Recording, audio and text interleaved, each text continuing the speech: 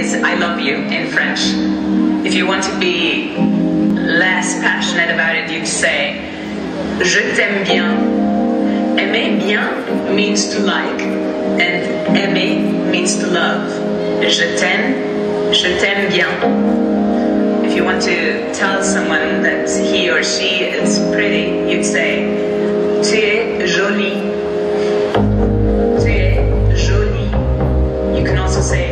fait gentil, which means um, beautiful or nice, and you can say you are great.